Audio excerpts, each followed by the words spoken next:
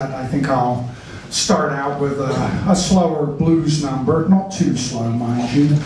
Uh, but, um, you know, we heard some talk about W.C. Handy, and of course that was uh, an educated musician's take on the folk blues that he heard that inspired him. Uh, there's a story of uh, Handy being at a railroad station and seeing a guy playing, playing his guitar with the, the blade of a knife, so kind of a slide guitar like one might have uh, uh, associated with someone like Robert Johnson a little later on.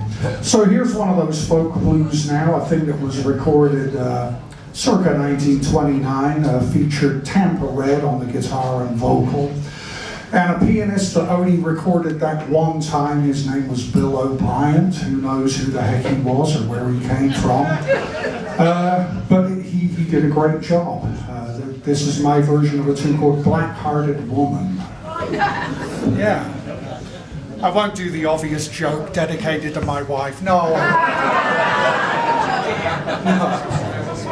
Those of you that know her know she, she wouldn't fit that description.